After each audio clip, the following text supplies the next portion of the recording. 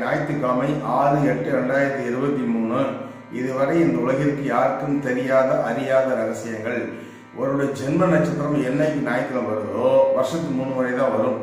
அந்த நாளில் அந்த நட்சத்திரக்காரங்க மனதை அடங்க செய்து சதா காலம் ஏதோ ஒரு மந்திரத்தை உள்ளே சொல்லி கொண்டு இருந்தால் அந்த நட்சத்திரம் முடிகிறோம் ஞாயிற்றுக்கிழமை வரணும்.